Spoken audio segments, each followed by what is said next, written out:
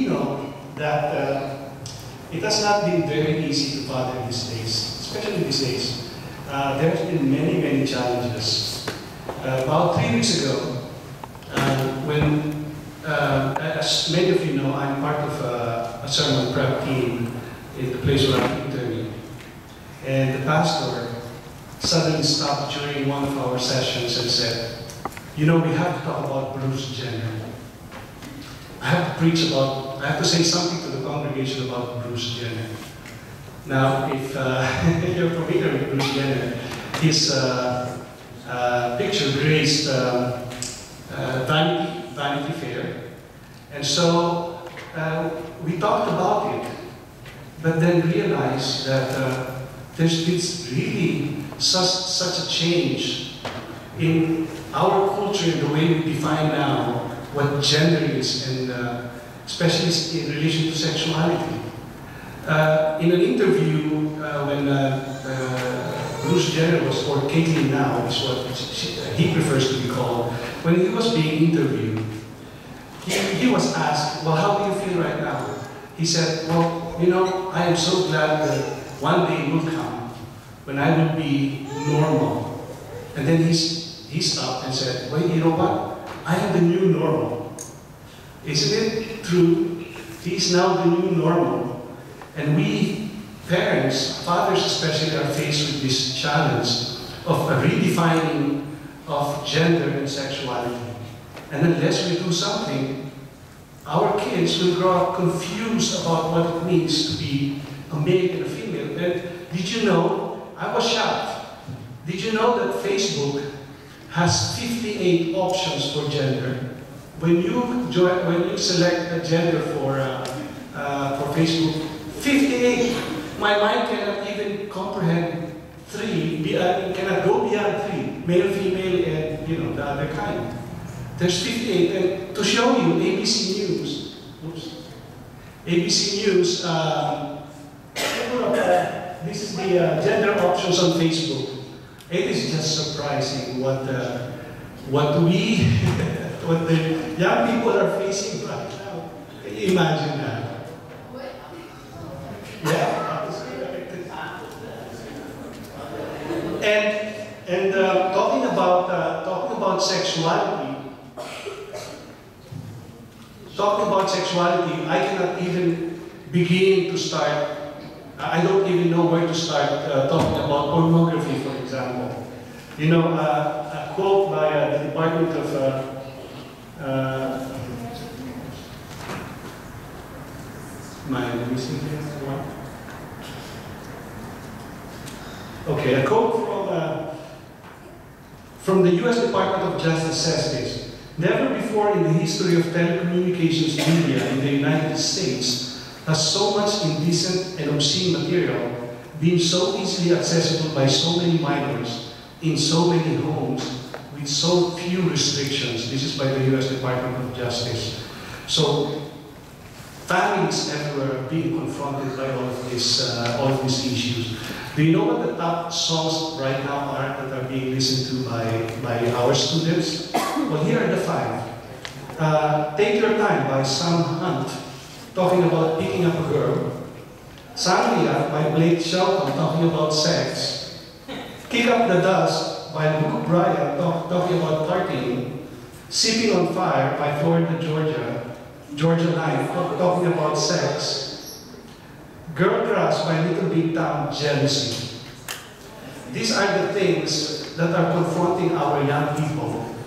And uh, I remember one time I was listening to a radio station by Focus on the Family, and they were interviewing Guy Doud. Guy Doud was uh, the National Teacher of the Year, I think, some many years ago. And he said, you know, ask the teachers of the 1940s what the top problems were, and on the very top, the top 10, you will find throwing paper, talking in class, chewing gum. That's the number one, chewing gum. Ask the teachers of today, do you know what the problems of young people are? Bulimia, pregnancy, suicide, uh, drug addiction, murder. Right? Chewing gum doesn't even make the top 50. Can you imagine what our young people are going through? And if we don't do anything, and I challenge you, this message is for fathers today.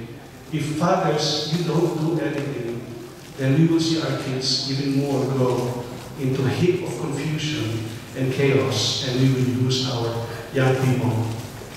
Uh, research done by a Swedish government, by the Swedish government, found out that if both father and mother regularly attend church, well, 33% of their children, about a third of their children, will end up as regular church goers. 41% will end up attending irregularly. They will still be in church, uh, but they will come and go. So, a total of about 76%, uh, I'm sorry, 74% going to church. If the father is not there, and it's only the mother who is really going and committed, only 2% of children will become regular worshippers. Now I know that there are some, we know many who are single moms who are doing their best to raise kids in the godly way. And it is up to us a church to help the mothers who are raising kids on their own. So we pray that they will belong to the 2% who will have kids who will come to church regularly. But you know, if a father, this same study says, if a father attends church regularly and the mother doesn't even attend or doesn't care about church, uh, what will happen is two-thirds and three-quarters of their children will become church goers. Can you imagine that? The impact of a father in the spiritual life of his children. Well, here's my proposal to you guys for this message. If you want to honor God, and you want to be a God-honoring man, we have to know who God is. Because it is only as we know who God is that we can father well. A.W. Tozer says, What comes into our mind when we think about God is the most important thing about us. Our view of God is indeed the most important thing about who we are. It matters whether we see Him as cosmic Santa Claus, a 911 rescue squad, a benign grandfather, a stern parent, a demanding taskmaster, or the lover of my soul who wants to be rescued, who wants to rescue and restore me so he can have an intimate relationship with me. Each person's view of God will shape whether he or she will want to draw near to him. Our view of God will determine how we relate with others, especially with our children. So that's what we're going to do today. We are going to look at the Father heart of God. And the, the passage that we're going to look at is something that's very, very familiar with you. It's in Luke chapter 15. You know that. It's uh, we know it affectionately as the prodigal son, but really, you can title it like how I titled it, the father of the prodigals, or you can call everyone the prodigal. Uh, there's really the two sons who are wayward, not just one. And the father can also be considered a prodigal because the definition of a prodigal is not just somebody who wastes his life or money, but it is someone who gives generously. So we can uh, look at the prodigals, the, the three of them. Now, we, you know, if you've read chapter uh, 11, if you, if you have your Bibles with you, and you look at uh, chapter 15 of uh, Luke, um, you know that uh, the, the prodigal son story is a cluster of three stories. You know, one time Jesus was uh, um, doing ministry, and then all of, this, all of the sinners and tax collectors were coming to him. Now it's, it's funny how Luke called the, the people uh, sinners, the tax collectors, and then separated the Pharisees. You know why? Because in the mind of the Pharisees, everyone who is outside of their circle are sinners. And so he's, you have all of the sinners coming, and then the Pharisees were saying, the religious leaders were saying, why are all of, all of these people going to you? Why are you associating with them? And he started telling the story. Three stories. The parable of the, lost sheep, the parable of the lost coin, and then we have here the, uh, the, the, climax of the two, the, the uh, parable of the prodigal son. So we have here, so we're going to look at the parable of the prodigal son because Jesus told that story for a reason. He wants his hearers to see the Father heart of God. And I know that this story is not about parenting, but you know, I believe that we can get a glimpse of who God is as a father, and then learn from the earthly father that was portrayed in that, uh, in that parable, and so be able to see biblically an image of who God is. I know that many of us, like me, did, I did not grow up in a, in a home with a positive influence of a father. I believe there, there are two ways for us to know, to be able to father well. One is to know God through the Bible, and then second is to see a model of uh, uh, a father, a godly father, through the church. So today I hope to be able to tackle the, at least the biblical portion of it and see what's happening.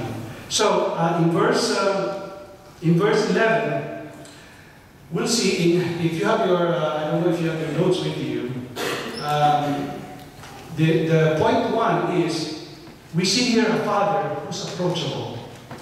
Verse 11, and he said, There was a man who had two sons, and the younger of them said to his father, Father, give me the share of property that is coming to me. And he divided his property between them.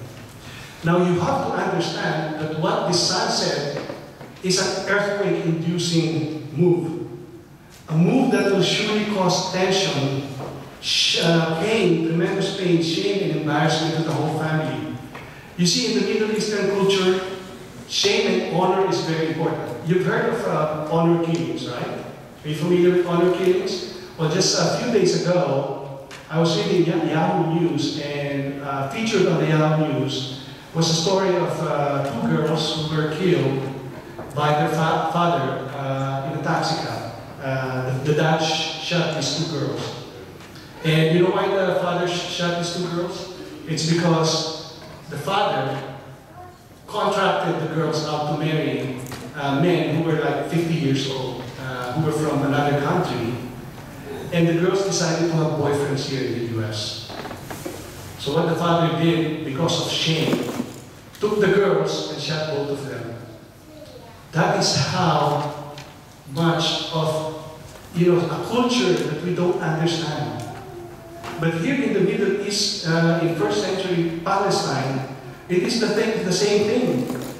Uh, Dr. Kenneth Bailey, who's an expert in Middle Eastern culture, he's, uh, if you are able to grab his book, if you want to read uh, some background on uh, the culture of Jesus, grab a book, several books of uh, Dr. Kenneth Bailey.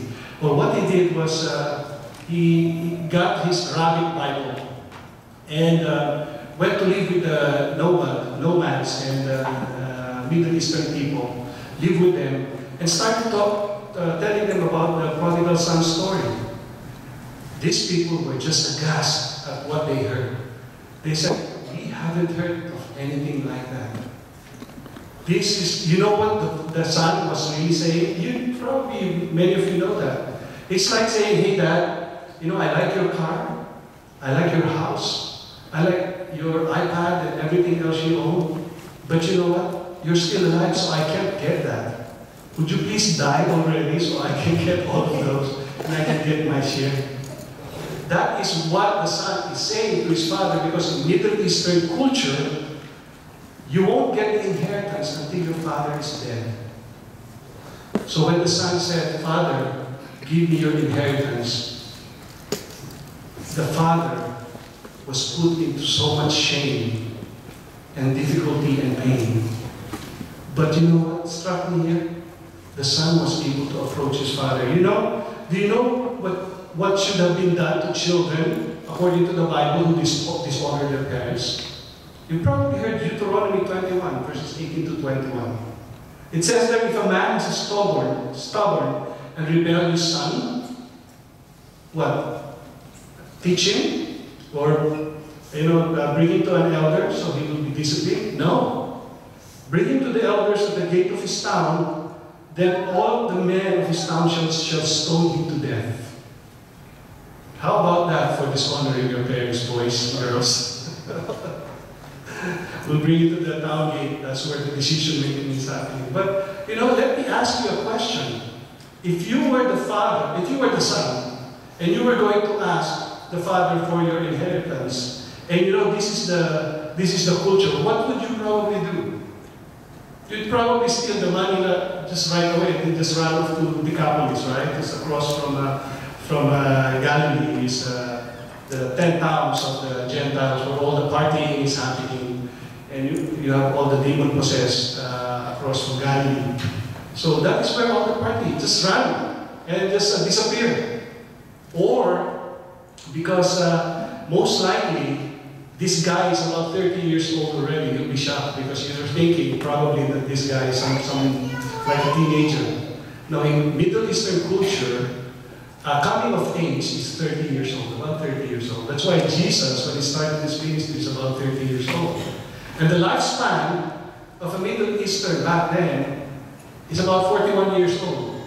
So you don't have too much life to live already. So it's probably, you're probably going to say, hey, you know what? I'm going to ask someone. Anyway, I already deserve it. I'll probably have someone mediate for me and ask for my inheritance because I'm already old. I need to go out. But you know, you know the father listened to his son and said, well, he didn't say anything. He just basically gave him his inheritance. That, what he did, reverberated not only through his family, but in Middle Eastern culture, it reverberated throughout the community. You know, if you fly, uh, when I was working for Logos, I would fly a lot, and I would see houses on farms that were separated by miles of land.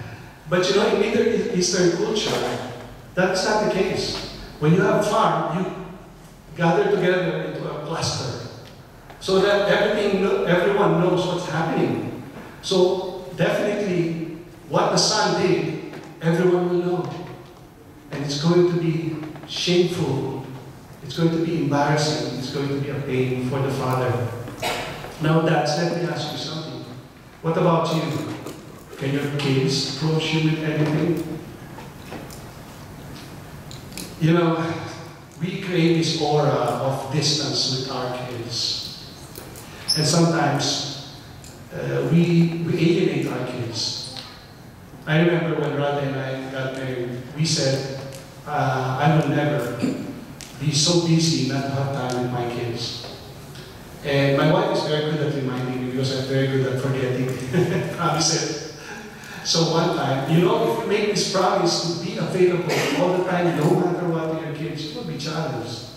I asked Joshua's permission to tell this story, but uh, one time he was about 14, 15 years old. Uh, I, was preparing for a sermon the following day, and I was in a hurry because, you know, you have school, and you have to prepare a sermon.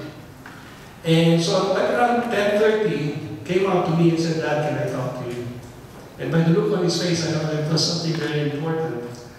And so I had to make a decision. Uh, son, can we at least wait until after my sermon? Or, and then we thought. But you know, as, as I was reminded of uh, a commitment I made a long time ago, I said, okay, let's talk.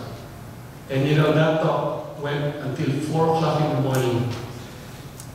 I, up to now, I didn't know what I preached. and I don't even remember how I got through that preaching. But you know, reflecting back, I should have just preached about relating with your kid. that probably made more sense. But praise the Lord, you know, uh, you are going to be challenged. Growing up, you know, I remember a mother saying, you know, I understand now why some, some animals eat their youngs. Because raising, your, raising a kid will cause you to think that. They will challenge you uh, and ask for your time. Um, but you have a decision to make right now, fathers. If you do not make that decision, then things will decide for you. Um, and so here are from, uh, from uh, father.com, here are some suggestions that you can do to uh, establish openness and availability to your kids. Just three things I pulled from there. It says start simple. Start simple. Don't think of writing a 10-page, uh, you know, I love you, son, or I love you, daughter. Uh, now, right now, we have texting.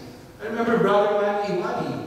He likes texting, uh, uh, encouraging people through text. And I'm sure a lot of you fathers are doing that. Start simple. You know, write simple "I love you" or "I remember you." That's that's first. Second, get into your child's world. You know, uh, it still pains me. Still pains me. Baby growing up, he kept asking me to play with him uh, Star Wars uh, role playing, but I can my mind can't wrap into role playing, and so he would ask me and ask me when he was young, like around, he was about eight years old. And then he grew out of it. And then we had some problems back then. And boy, I realized how much he would ask me all the time to play uh, that, uh, that's, that game, Star Wars. So you know what I did? I took those books that he was about to throw away and put it in my um, shelf in front of me. So I will always remember to spend time with David. And so one time, uh, you know, his mom reminded me again. He said, spend time, spend time. Okay, so I know that David loves fishing. So through the help of Rod, for, Rod, thank you so much. Woo! You know, Rod, what Rod and I will do, he will take the time and bring me and David fishing before before going to school. So his school starts at uh, 8.45, 9 o'clock. And so Rod and I and David would meet at like 5.30, right Rod? Or 6 o'clock in the morning. And we'll go fishing for about an hour and a half. And it was such, it was one of the uh, best times that I've spent, spent with David. Now I tried fishing rod myself. I never could catch a fish. We caught a turtle and we had to cut off his head because it got so stuck. Three times, and you know where we went? We went to the catfish uh, farm to make sure we catch anything, but we couldn't catch it. That's how bad I was with fishing. And they will laugh at me at fishing. But you know what? I, I wanted to take time with David. I wanted to spend time with my son. And the third thing, find something unique. You know, do something together, like bicycling, or chess, woodworking, or gardening. I'm sure you'll find something that you will love together. So three things for you to spend time. Start simple, get into your child's, child's world, and then find something unique that you can do together. Decide to spend time with your kids. They grow up so fast. They grow up so fast. Now both my boys are going to be college. Matter of fact, right after my sermon, I'm going to fly to Lubbock to be with David because right now that's he's uh, in orientation with Rada. So they, we're empty nesters now, because like you. So, uh, but I know you're older than me, so uh, that's comfort for me.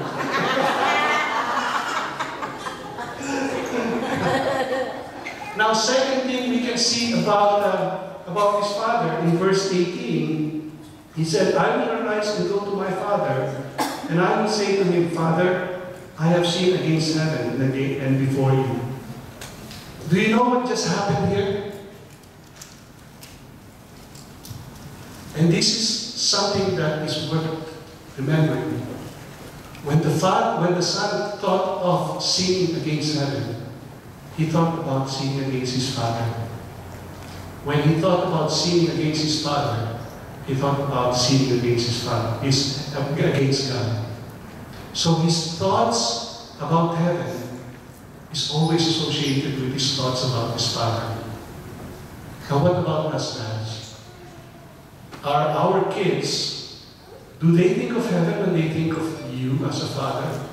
Or do they think of sports? Football? Bar? I don't know. Work? Or do they think of heaven?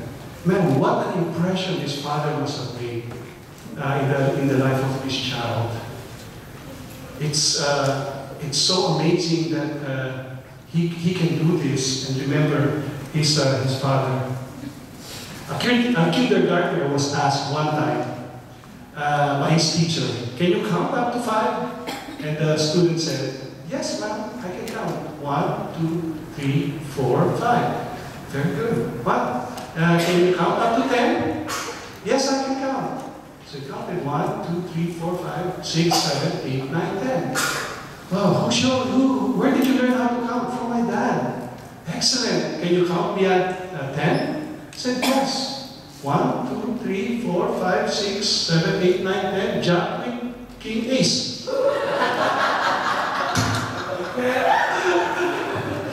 Man, teacher would have, would have been impressed already. I didn't you for that. you know, our kids learn from us what we do all the time. Now, uh, I grew up, as, as, I mentioned to you, I grew up from a home we, without a strong grand, uh, father model. But you know, once you become a Christian, I believe God will give you uh, a model for you to follow, and it is found in the church. So if you're struggling with uh, having a father image, besides studying the Bible, it is our responsibility to find a mentor, somebody who we can learn from, for, from what it is to father. You know, when I became a Christian, I remember Michael Jebaraj. Michael Jebaraj, when I was in college, was a simple guy. I found him so simple. You know, all he does is say, trust God. Trust God. I thought faith was more complicated, you know. I thought it, it, is, it was more cool and it was uh, more earth-shattering. But he was a trust God guy. Uh, if you ask me what I remember, and if I remember anything about uh, Bible studies that we've done, I couldn't remember anything. But you know one thing I remember about his life? He taught me what it meant to pray. One time I asked him about prayer, and he said, You know what, Victor? I spend about 45 minutes first praying to get my heart and my mind into it before I start really praying. No wonder the guys, the students, are all clustering around him. Wherever he went, we went with him. There was something attractive in his life. And you know, one time I went to his uh, dorm, and I, uh, he didn't know that I was still awake. And I peeked into his room, and there he was praying, kneeling. That's what I remembered about him. Uncanny was a campus crusade for Christ staff. He also discipled me. The same thing, I, I cannot remember any lesson that he taught me, Bible study lessons. As a matter of fact, one time I asked him a question about, uh, you know, Bible verses about uh, salvation, assurance of salvation. I wasn't impressed because he seemed to be fumbling through uh, the, the Bible verses. But you know one thing that struck me about this guy? Well, he would gather all of us students, and what he will do is he will ask us to march around the downtown, and he would sing at the top of his voice, Lord of Lords, King of Kings and Lord of Lords, holy. Hallelujah. I like 30 years ago. He would sing that over and over again, and here we are, students at the top of our voice, marching through the streets, singing, Lord of Lords, King of King of Kings and Lords of Lords, glory, hallelujah. That was what I remembered about him. His passion for reaching out to people. He became the Korea National Director of Campus Crusade for Christ. But he was passionate about the Lord.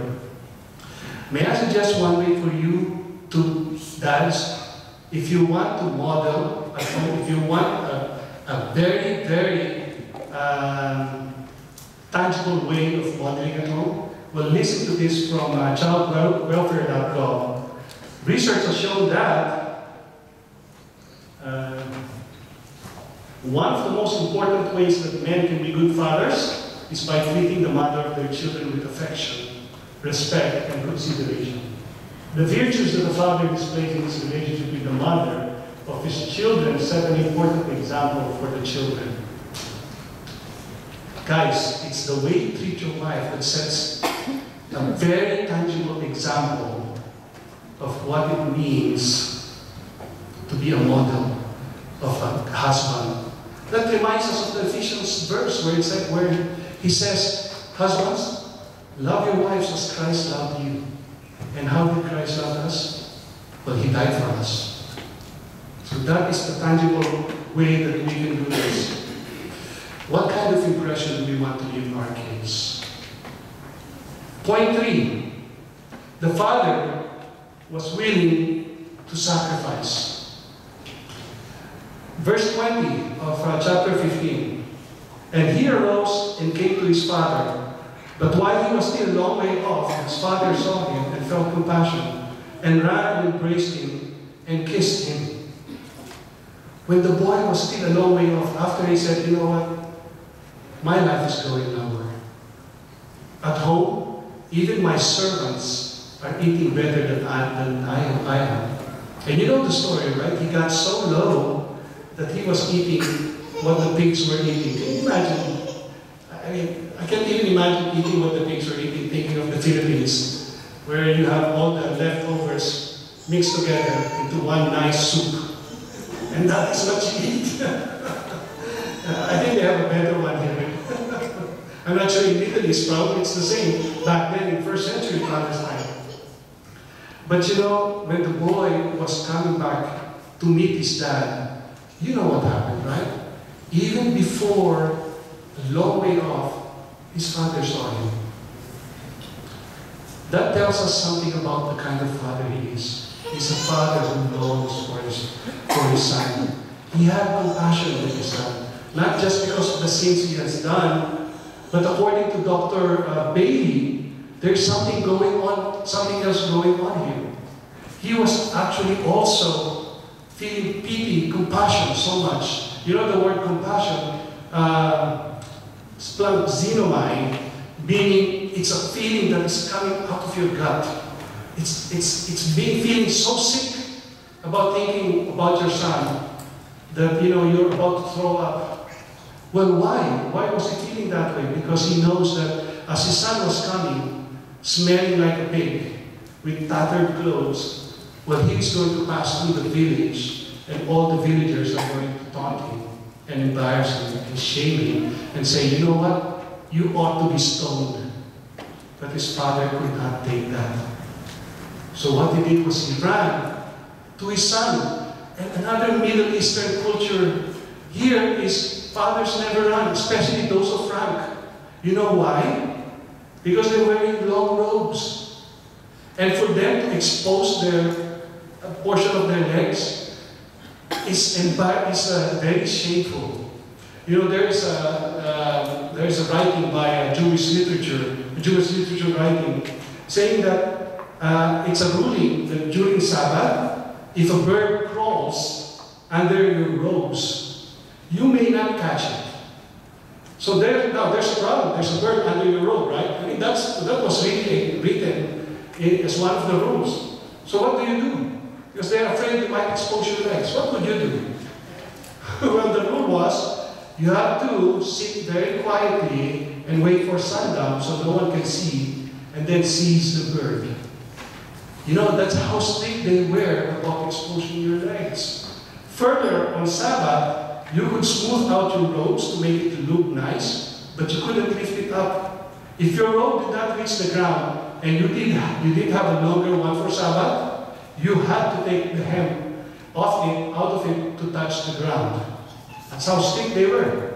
Also, you cannot jump, nor could, could you run, because if you do, well, you will be uh, lifting your foot off the ground, and your foot must be both on the uh, your foot must be on the ground, at least one, all the time. If you jump, both of them will be out, will be off the ground. That's how strict they were.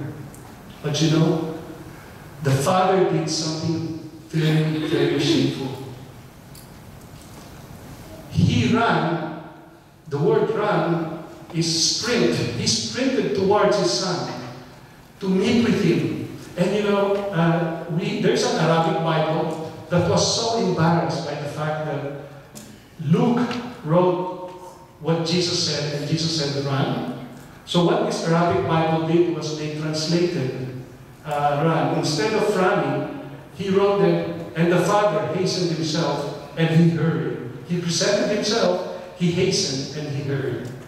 They couldn't write, he ran, because it was an embarrassing thing in Middle Eastern culture until finally one day, just, read, just uh, several decades ago, finally they decided, okay, we'll, we'll use the word run because that is really what it was in Greek. But they made a note there, well, you know what, he presented himself also, he, he you know, he, he was Aryan. So it's still making an excuse not to use the word run.